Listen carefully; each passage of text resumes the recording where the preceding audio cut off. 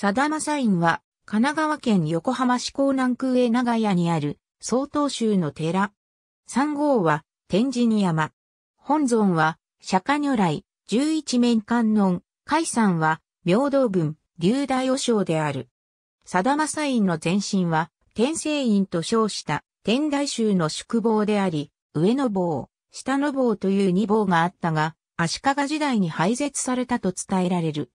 下の坊には、菅原道真逸夫で、監修祭と呼ばれた菅原厚重が配流されてこの地に帰居しており、道真自国の存像を奉仕して朝夕崇拝したのが、長屋天満宮の講師であるとする伝説が残る。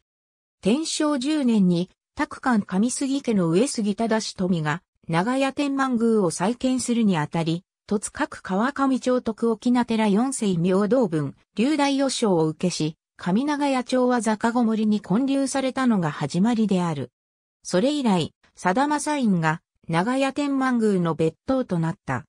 当時は長屋天満宮と山を挟んだ位置関係にあったが、文化14年に現在の場所に移転した。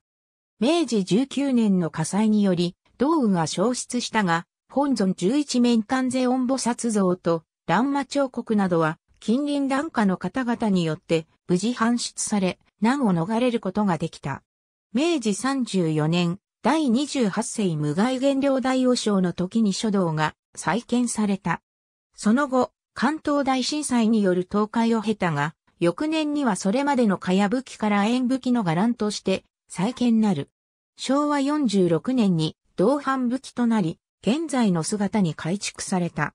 本堂に祀られている釈迦如来像は彫刻家、長谷川正信の作で、平成3年に海岸供養が行われた。また、前出の道心像は長らく同時に保存され、祭事や出外町の際に神社に同座されていた。近年は、牛年の天満宮霊大祭の際にのみ、天満宮へ同座されていたが、2009年に身体を保管する施設が完成したことにより、以降は天満宮に安置されることとなった。ありがとうございます。